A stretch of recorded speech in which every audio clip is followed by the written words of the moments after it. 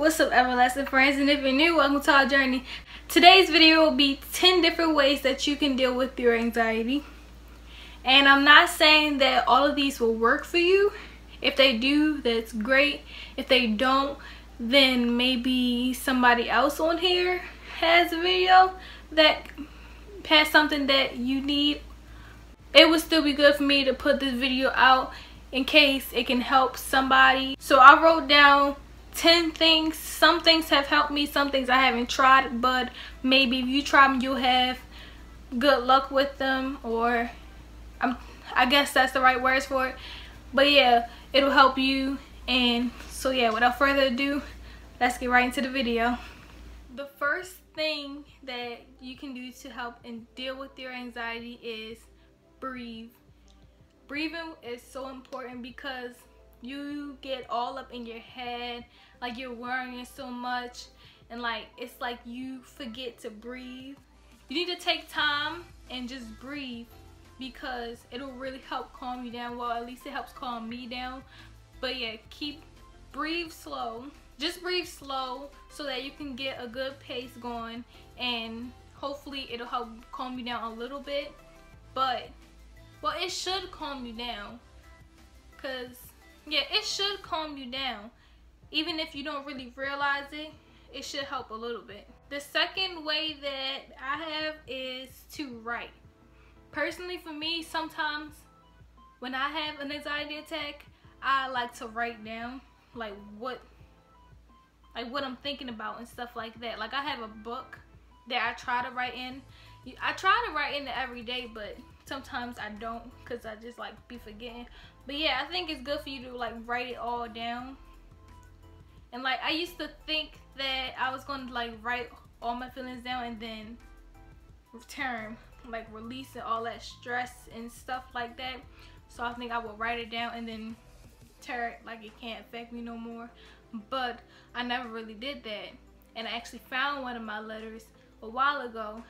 But I kind of like moved past it. Like I don't think about what I was stressing about or worrying about anymore. Another way is to listen to calm music. I'm sure you can find music on YouTube or any music that you feel like calms you down. But that'll be a nice way for to help you deal with it. Just use, listen to calm music because music affects your mood a lot. And maybe that'll help you calm down. Maybe make you distract you from whatever you're thinking about and hopefully that helps. Number four, talk to others. It can be you have anybody that you trust in basically or if you don't trust in nobody or you're not ready to, you can find, it's like these apps and they have people who who are in a similar situation as you. They like just want to talk with somebody but they don't know how.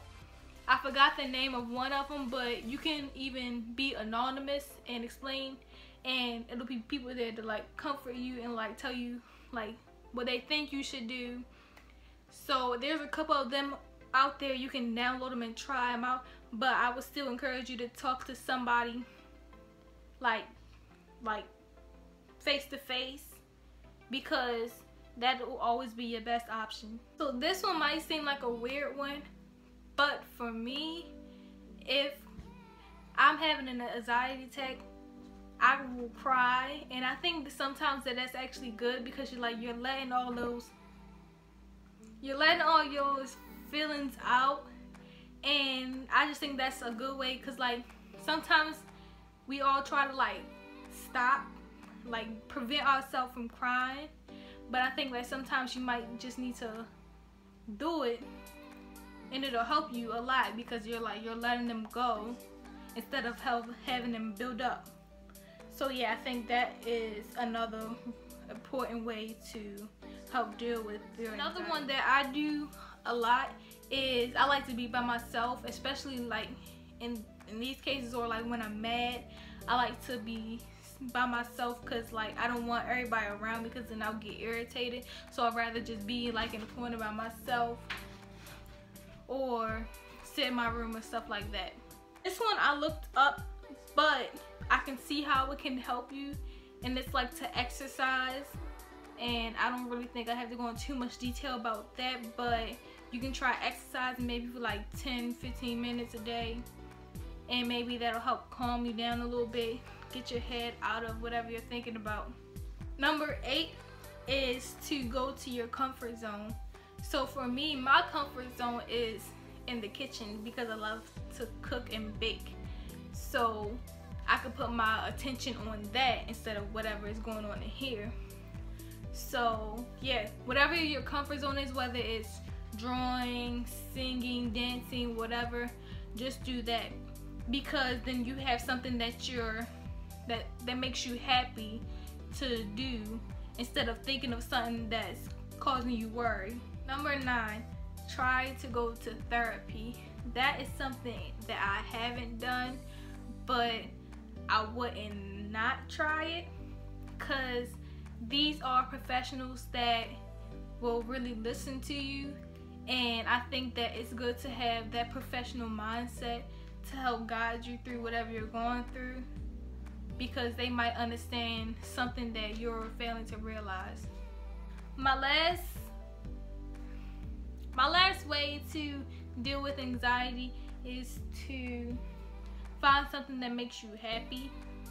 So anything that makes you smile, anything that you can think of that puts a smile on your face, that would be really nice because again you're getting away from whatever is in your well you you'll never get away from it but you can help you can overcome it because you can't just forget about something it'll always be there but you don't have to keep on worrying and worrying and worrying about it you can move past it because nothing can hold you back for but for so long. It'll only hold you back if you let it. Let it. So yeah. Thank you guys for watching this video. Leave a like comment and subscribe and i will i hope these helped you first of all. And if you have any other ways please please leave them in the comments below. And because they maybe help somebody who's afraid to ask or something like that thank you guys for watching this video. Leave a like comment subscribe and i will see you on the next video. Bye